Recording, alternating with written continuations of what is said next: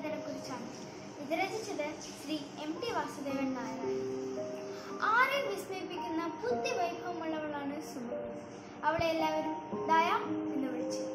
സർവസ്വത്ത് നഷ്ടപ്പെട്ട തന്റെ യജമാനെ എല്ലാവരും ഉപേക്ഷിച്ചപ്പോഴും അവൾ അയാളുടെ ഒപ്പം അയാളെ ദുരിതത്തിൽ നിന്ന് കരകയറ്റാൻ അവൾ തീരുമാനിച്ചു. പക്ഷേ അവർ പ്രതീക്ഷിച്ച പോലെയല്ല അവരുടെ ജീവിതം മുന്നോട്ട് പോകുന്നത്. അത് വഴിമാറിയത് ഒരു വ്യത്യസ്തമായ അത്ഭുതകരമായ മലയാളത്തിന്റെ പ്രിയ കഥാകാരൻ ശ്രീ എം ടി വാസുദേവൻ നായർ കുട്ടികൾക്കായി രചിച്ച നോവൽ. ദയ എന്ന പെൺകുട്ടി. എന്നെ ഈ നോവലിൽ ഏറ്റവും കൂടുതൽ ആകർഷിച്ച ഘടകം.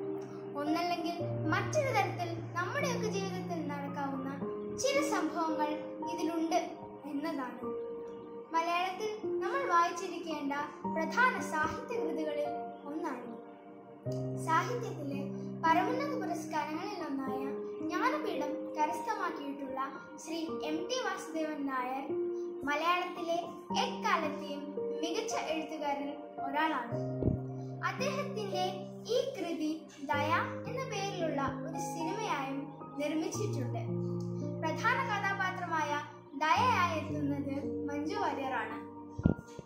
സിനിമയും പുസ്തകവും ഒരേപോലെ ആസ്വാദനീയമാണ്. എന്തായാലും എനിക്ക് ഈ പുസ്തകം ഒരുപാട് ഇഷ്ടപ്പെട്ടു.